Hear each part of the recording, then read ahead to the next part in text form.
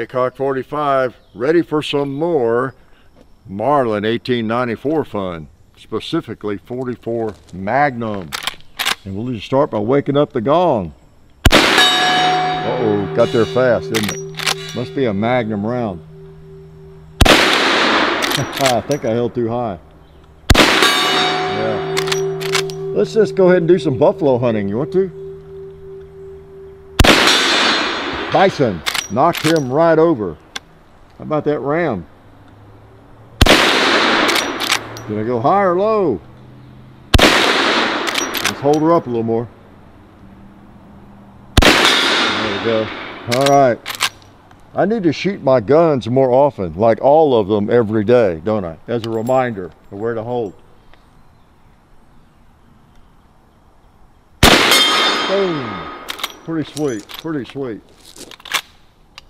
Wonder how many rounds it'll take to knock those bowling pins off.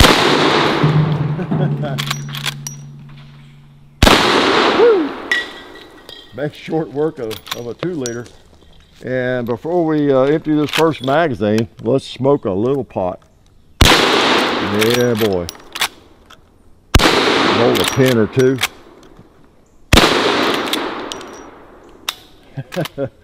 all right. Load on Sunday and shoot all week. Look at that gun smoke coming out of there. I'm sick. Yep, so are you for watching. Yep, this is the old Cowboy Limited 44 Magnum. Uh, y'all saw hopefully the first video. I will link to it. And I this is one of my favorite rifles, you could say, couldn't you? because I have, uh, you know, a handful of the Cowboy Limited Marlin 1894s. And uh, hopefully you have seen all those videos with the 357 Magnum, 44 Magnum, 45 Colt. Yeah. And even the uh, 22 long rifle in the Cowboy limited models. That's, uh, what is that, an 1897? I forget the model number on those. So uh, just very, very nice rifles. I've not had this one quite a year either. We uh, brought it out six or eight months ago and uh, I was in the mood to shoot it again. So I thought I'd invite you along. So how's that? Pretty pretty cool. 44 magnum coming out of a longer barrel. Get quite a bit of thrust that way uh, you know with a 24 inch barrel. Pretty cool. Arms okay?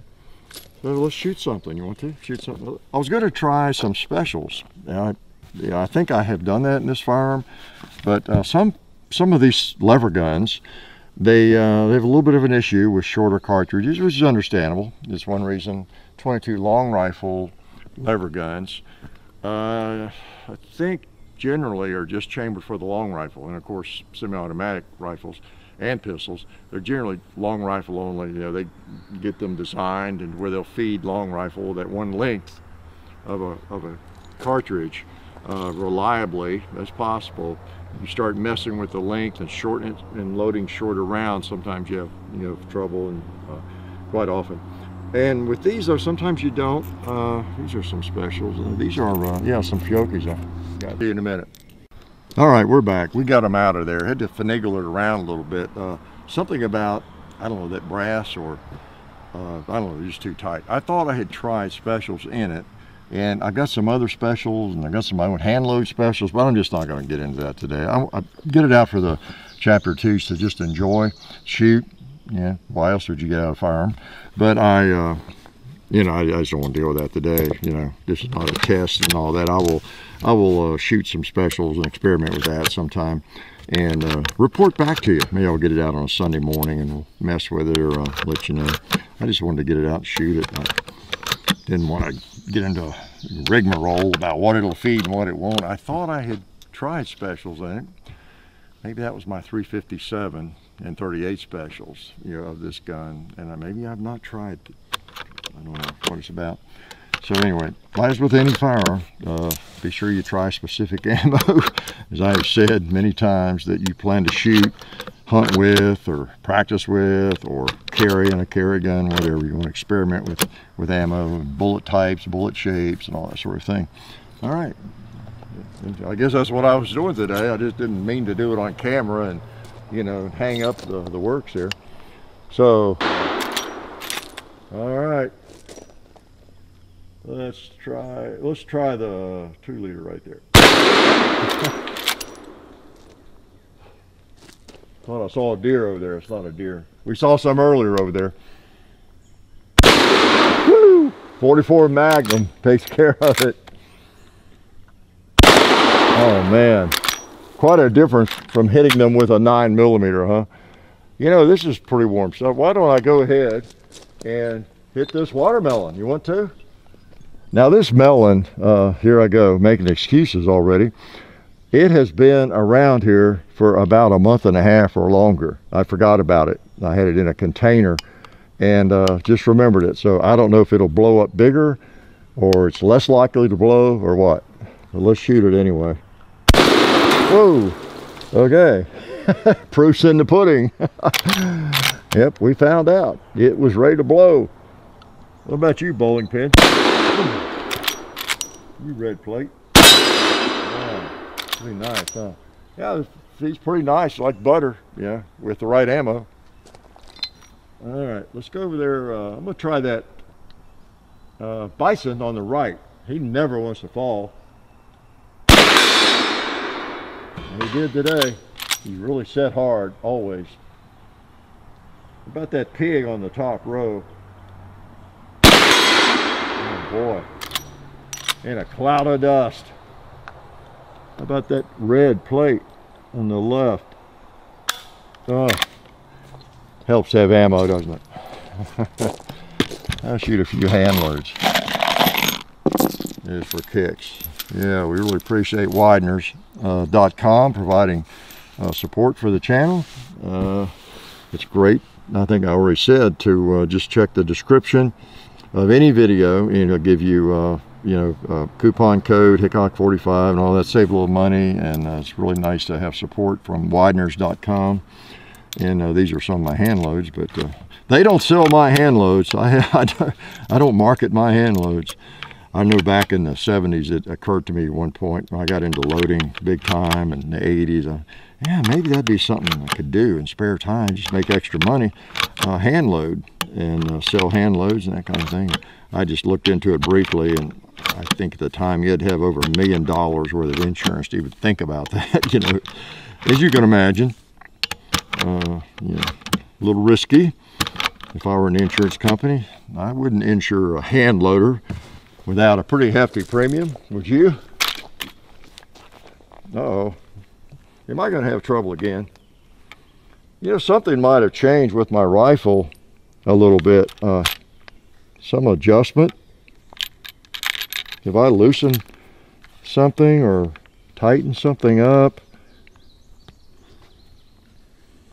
uh, sure what that, that lifter is sort of hanging up in there.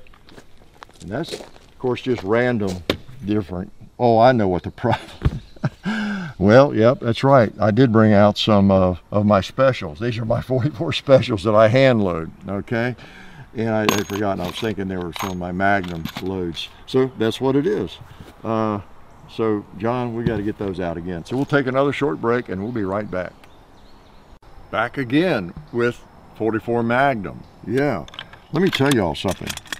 Uh, maybe you want to really test your uh, Marlin 1894 make sure it uh, it will chamber 44 special and then if it doesn't seem to to like it uh, don't put any in it and when you're at the shooting table, don't have any out there with you. all right. Uh, I keep telling you all, you know, I'm IQ challenged. Uh, yeah, it takes me two or three times before I learn a lesson. I actually was thinking I had my hand loads in 44 Magnum out here. Now they didn't. I, they, you know, don't realize. Oh, that's right. They had 44 Special. So it, it apparently doesn't like 44 Special, and uh, I am not going to test it anymore today because we had on that one I had to take the uh, magazine tube out and I know some of you get mad at me why you shouldn't have cut? You should have shown us how you got them out. Well I didn't want you to see me with a hammer and a, you know and a chisel and all that. Uh, the previous time we got them out John got them out without too much trouble but uh, this time we had to take the uh, magazine tube off the forearm and everything and take all that loose and dump them you know they're just locked up. So Yep. Okay. I'm a slow learner, but I eventually learned the lessons. Okay, so I was I was almost finished shooting. Uh, didn't realize I was going to be doing a lot of gunsmithing today. So let's just knock something else over. Let me shoot that swinging plate over there.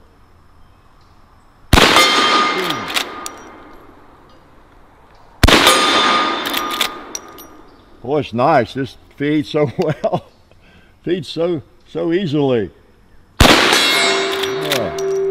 Any cinder on that barrel? Maybe a little bit.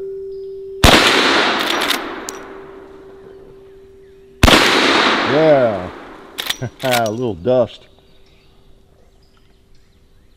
I knew that was low. Why'd I pull the trigger? I knew that one was right on. Yeah, got two, made up for the miss, huh? Anything over here to explode? We haven't exploded yet? I guess not. Yeah. Nice sound.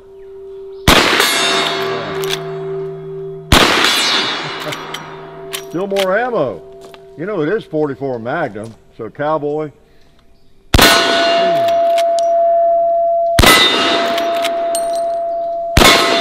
don't want you to feel neglected. Put the last rounds on old Mr. Cowboy. Oh, look at that gun smoke.